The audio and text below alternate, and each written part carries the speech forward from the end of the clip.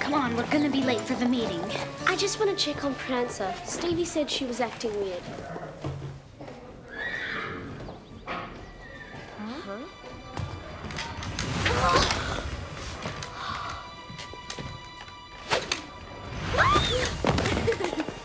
Gotcha. you should have seen you guys. Where's my camera? Very funny, ha ha. What brought this on? It's not April 1st, is it? Change of pace never hurt anyone. Let's just wait till we get the x-rays back. All bow down to the reigning queen of practical jokes. Come on, your silliness. Max is waiting for us.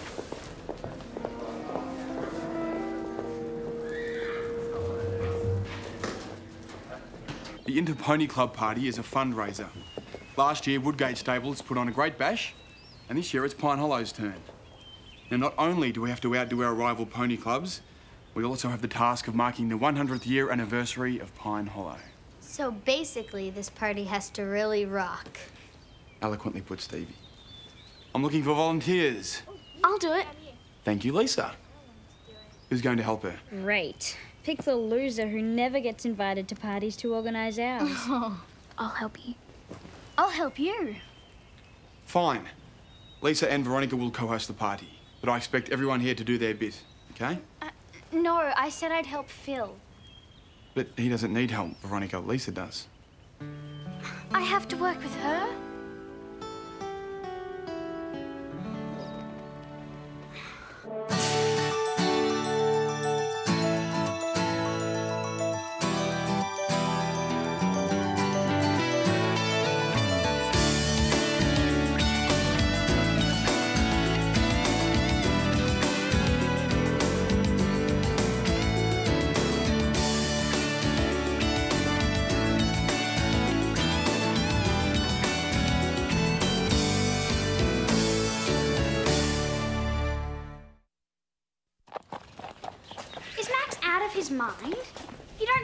Party this important and then put Lisa the lamo in charge.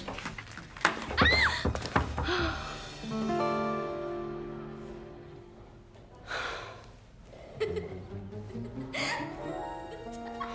How juvenile. She is seriously weird.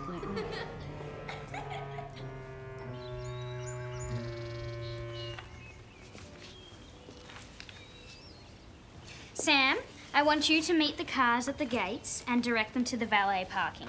Megan, I want you to organise the valets. Why don't people park in the yard like always? What are valets? Am I the only one here who has any class? Uh, reality check, Veronica. There is a budget. Thank you for that input, Lisa. People are going to pay, you know. Uh, Phil, I know I can rely on you. Then I should remind you, we're trying to raise money for this event. Chandeliers.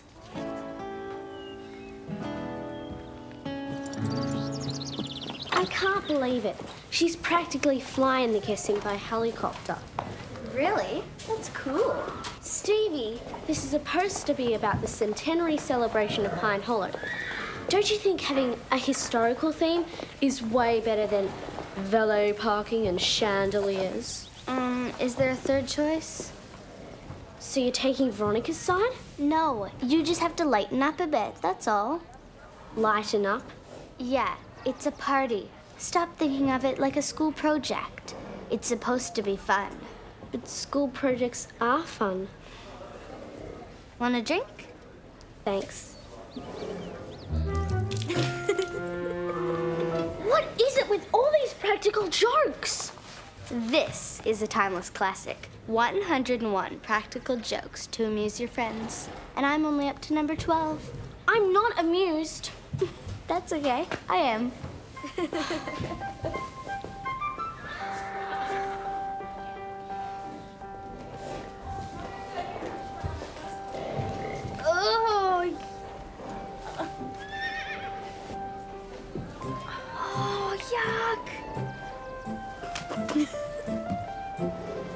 little snack in case you get hungry. Stevie.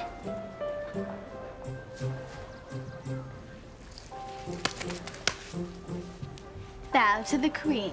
You need to get your medication checked. Oh. Yes, I know what you were trying to do, but I'm not sure it's such a good idea to put Veronica in charge. That's why I put Lisa in charge with her. Oh, Max, that's like putting the Roadrunner in charge with Wile E. Coyote. Well, I thought they might balance each other out.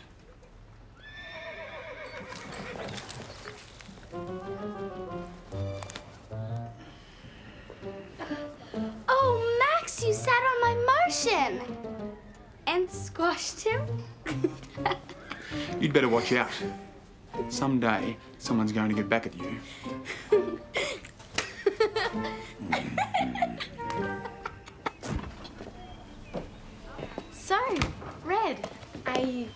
to the party? Sure. Are you uh, going solo? Hadn't really thought about it. Because if you want, we could go together.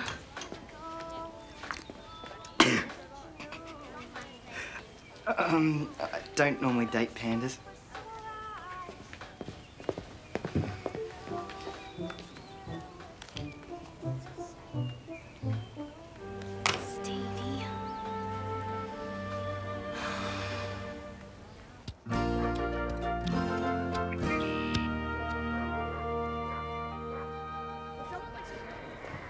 Lisa, I hear you're suggesting an historical theme for the party. I've got something you might be interested in. Or that one. Or that. Guys, you just gotta hear this. What? Friday night is not only the 100th anniversary of the stables, but the 100th anniversary of the death of Max's great great uncle William. So, It's Friday the 13th. We could have a horror at Pine Hollow night, a freaky costume party, why? because it all fits in.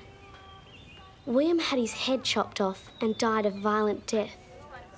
Or did he? Did he what? Or did he die? Because the headless horseman still haunts Pine Hollow. Yeah, I've seen the film too. So, how come no one's seen this ghost before? I have. I was in the stables late one night and I caught a glimpse of him just near the doorway. He hovered for a second and then he just disappeared. Max told me later on it was probably the ghost of his great granduncle, William, the headless horseman. Thanks, Deborah. That's a very interesting story. It's perfect. I think it's a great idea. And it will be exactly a hundred years ago. And we can give out prizes for the best costume. And decorate the stables with scary stuff like skeletons and ghosts. Look, we're trying to bring a little sophistication to Pine Hollow. Save your kids' stuff for Halloween.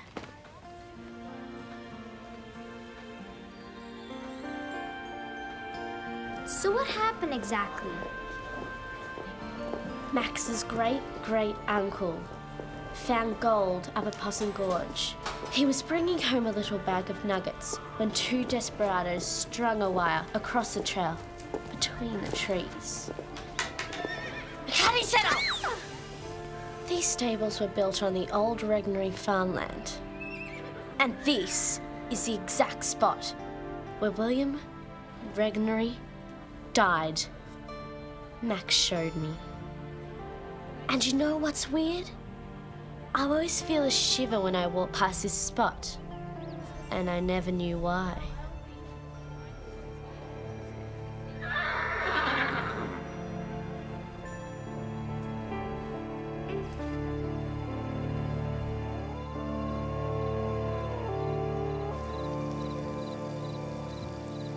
Look, Comanche. you're looking beautiful. Yes, you are. Such a handsome boy.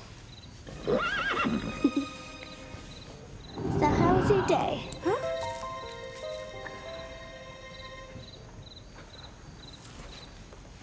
Yeah. Give you a brush.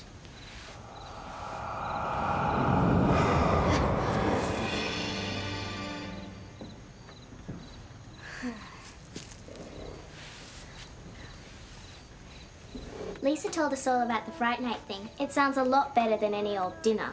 Megan, Megan. Max is after an occasion, not some juvenile novelty night. Lisa told me to make some decorations. I told you, you're in charge of the mood lighting and candles. But- And I want to see some imagination from you people. Why is it always me who has to come up with the brilliant ideas? But I have to be home for dinner. Sam, I'm taking you off parking. You can organise the catering. Why me? Because we need you, Sam. Veronica, I just got a call from Chez Andre. Whoa, are they catering Friday night? No, they are not. Why not? Did they double book? Don't worry, I'll get my mother to call. No, they didn't double book. They called with an estimate for the party. Their food is off the planet. So are their prices. This is a small party with a small budget. I was thinking more along the lines of fruit punch and munchies. Munchies. Chez Andre doesn't do munchies. I know, but you do. How am I supposed to make munchies? That's where Sam comes in. Munchies. Now that's catering. Sam and Megan are threatening to go on strike. Why? Because Veronica's carrying on like Lady Muck. Now, why can I picture that so easily? I think she's gonna screw everything up. I'm way ahead of you. I've got backup. What was that?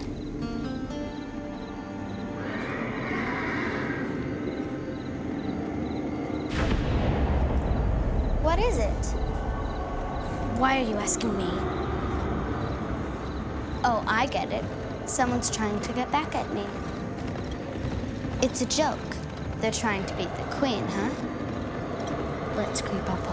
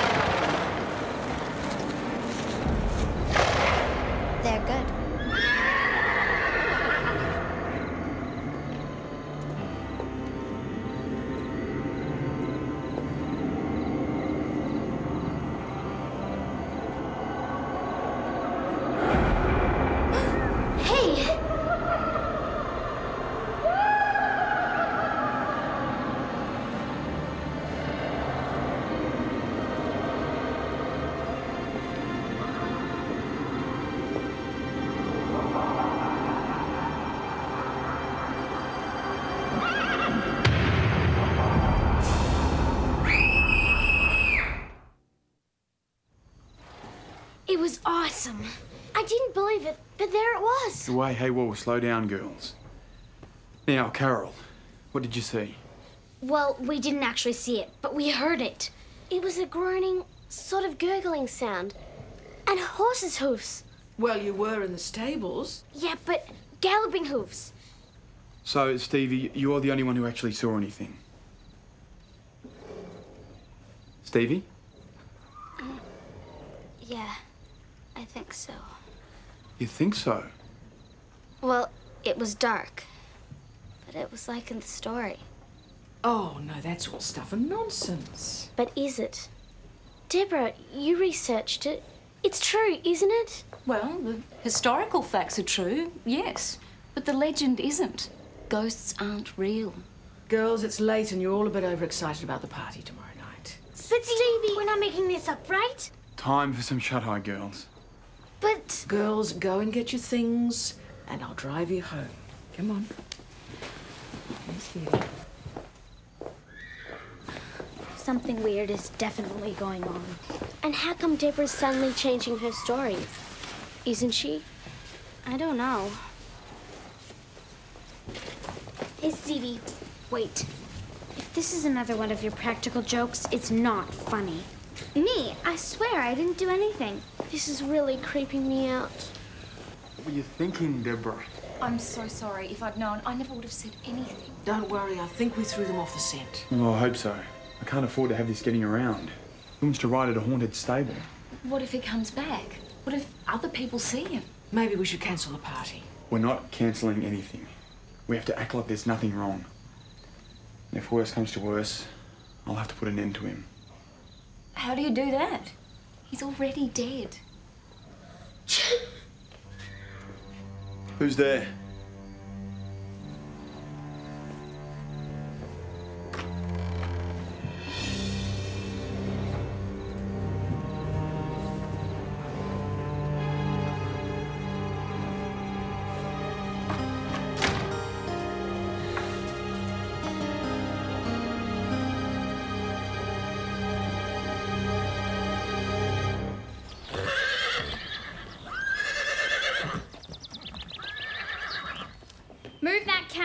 Left.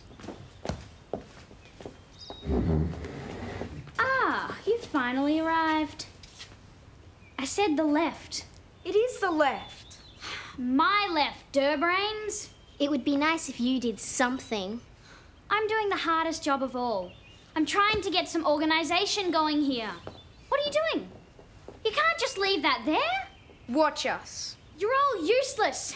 You can't even follow instructions. I mean, where are the chandeliers? I couldn't find them in the yellow pages. What are chandeliers? Peasants! I'm surrounded by peasants! Getting the best out of your workers, I see, Veronica. Well, at least I'm doing something. So we've noticed. Okay, guys, you've tried sophistication. I say we get back to the basics. I say we get back to Fright Night. You'll never do it in the time. Most of it's done, Veronica. What? As soon as you got the job, I made other arrangements. Just as well, don't you think?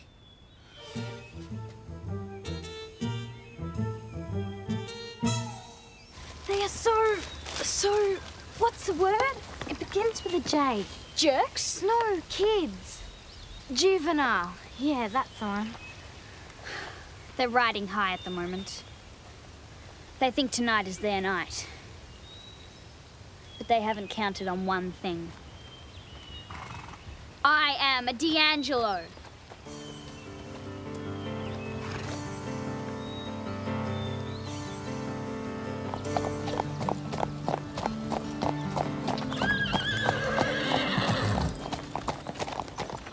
So let's get this straight. Max knows all about the ghost, but he's keeping it a secret?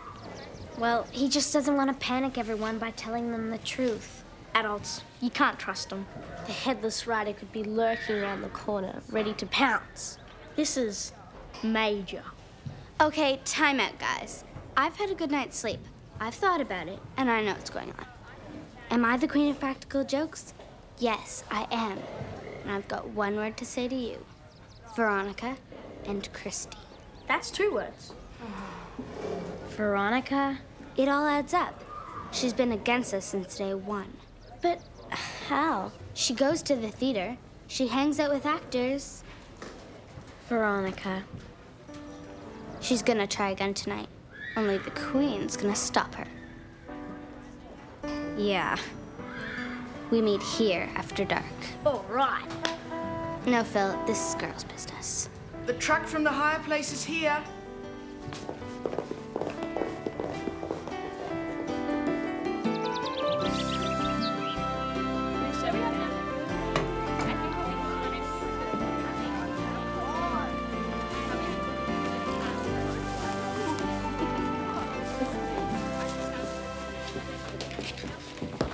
Your costume lined up? Yeah, I'm gonna be Freddy Krueger. What about you? I was gonna go as Frankenstein, but I tried my costume on this morning and it's too small. Shouldn't monsters come in large? You'd think so, wouldn't you? I know what we can do. Welcome to my nightmare!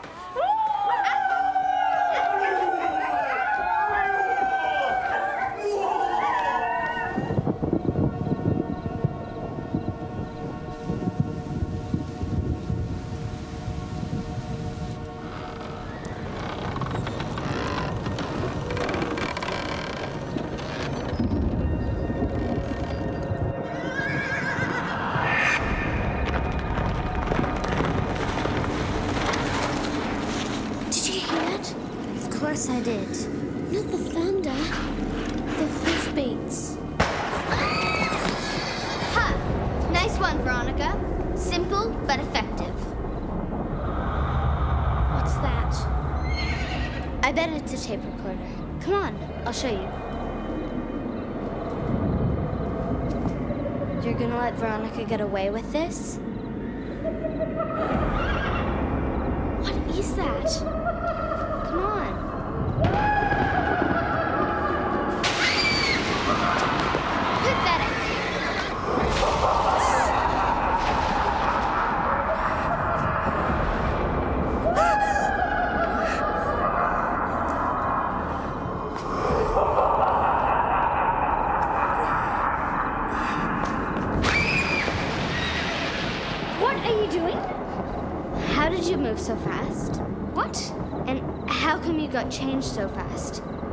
It took me hours to change. Well, if it wasn't you, then.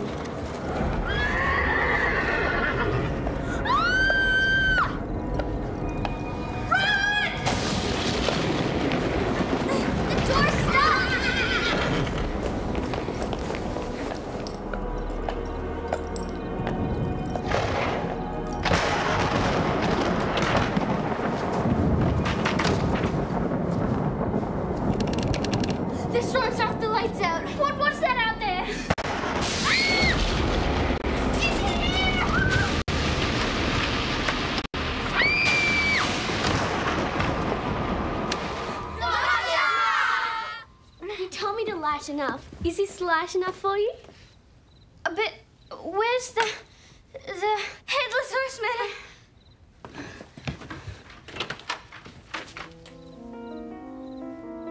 You mean you all? And I? Fred So, Your Majesty. With a little help from Maestro Phil on sound effects. Uh, I, I, I, I knew it was you all along. Did you? I was sucked in big time. You, you, you, and you, go and get changed. We've got a lot of partying to do. Boo.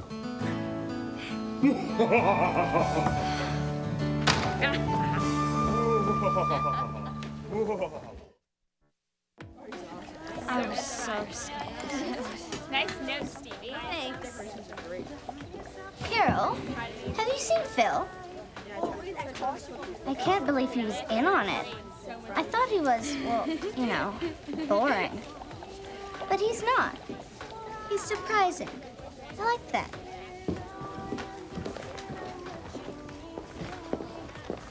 What are you so happy about?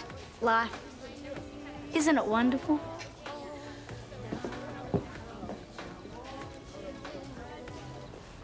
Think these costumes would be so effective. We certainly scared them. Yes, we did.